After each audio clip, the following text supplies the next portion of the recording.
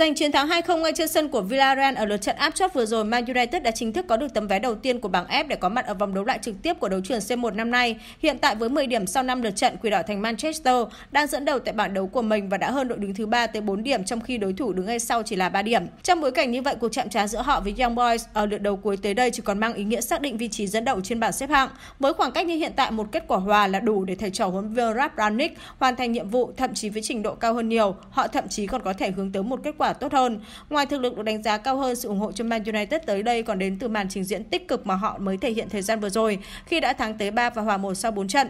Đã thế ở trận đấu tới họ còn được chơi trên sân nhà, nơi đã chứng kiến họ thắng cả hai trận gần nhất. Chính vì vậy, chính vì vậy mà niềm tin được củng cố cho Quỷ Đỏ. Không những thế, niềm tin còn được tạo ra từ phía bên kia chiến tuyến khi mà Young Boys, ngoài việc yếu hơn nhiều về chuyên môn thì trước trận đấu tới đại diện của Thụy Sĩ còn đang trong giai đoạn thi đấu xa sút. Cụ thể như 8 trận gần đây chỉ thắng một còn lại toàn hòa và thua, đặc biệt là trên sân khách khi đã thua tới 4 và chỉ hòa một ở 5 trận gần nhất. Tuy nhiên trong bối cảnh đang nhận được sự ủng hộ mọi mặt về chuyên môn thì trên sàn giao dịch châu Á khá bất ngờ khi nhà cái chỉ xếp Man United ở kèo chấp 1 1 phần 4, mức không có gì nổi bật và không thể hiện được vị thế của họ so với đối thủ. Nên nhớ ở lượt đi dù phải làm khách đến Thụy Sĩ mà họ đã chấp như vậy huống chi tới đây được chơi trên sân nhà.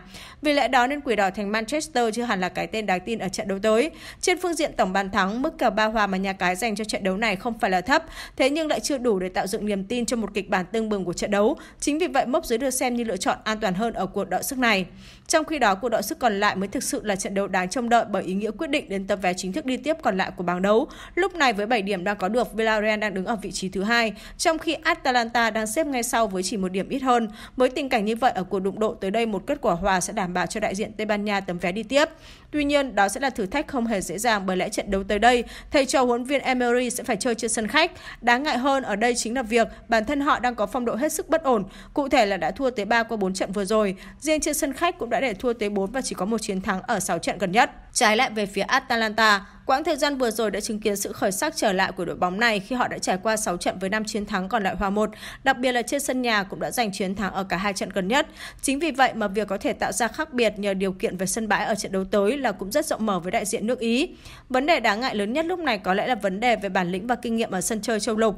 Rõ ràng về khoản này Atalanta bị nghi ngờ nhiều hơn so với Villarreal, nhất là khi biết rằng tàu ngầm vàng còn được dẫn dắt bởi một huấn luyện viên có duyên với đấu trường đấu cúp như này. Chính vì vậy nên vẫn cần có đôi chút cân nhắc trước khi đặt niềm tin cho cho họ. Dẫu vậy thì với tình hình đang diễn ra theo một cách được phân biệt rõ rệt như vậy, khả năng mọi chuyện sẽ diễn ra theo đúng đặc điểm về chuyên môn của nó.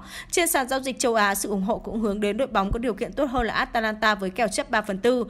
Đây rõ ràng là mức kèo đã thể hiện được vị thế của họ so với đối thủ. Vậy nên đại diện Italia xứng đáng là cái tên để trông đợi hơn ở trận đấu tới. Trong một diễn biến khác, mặc dù mang tính chất quyết định đến tấm vé đi tiếp, thế nhưng có vẻ như sẽ khó để kịch bản chặt chẽ diễn ra ở trận đấu này, khi mà Atalanta là đội bóng sở hữu lối chơi đầy phóng khoáng, còn Villarreal cũng chơi không thực sự chắc chắn thời gian gần đây. Và với mức kèo cũng được niêm yết lên tới ba hòa, hoàn toàn có thể trông đợi vào kịch bản tương bừng cho trận đấu.